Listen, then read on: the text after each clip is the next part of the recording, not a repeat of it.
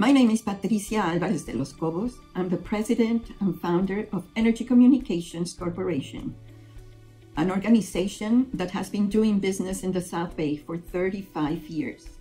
We have been representing the stations of Televisa, the largest producer of Spanish language TV, along the border with California. We are experts in marketing to the Hispanic market in the San Diego region and any other American region. We as well do productions, research, any type of businesses that imply the Hispanic market. The reason why we joined South County EDC is because we saw a potential for our business.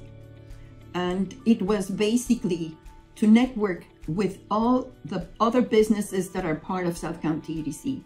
And not only that, all the government officials, politics, you know, that are part of our region that are really involved with our economic development.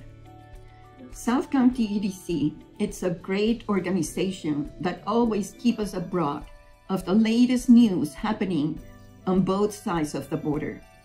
I really invite you to be part of South County EDC and discover the potential that your company has among all of us.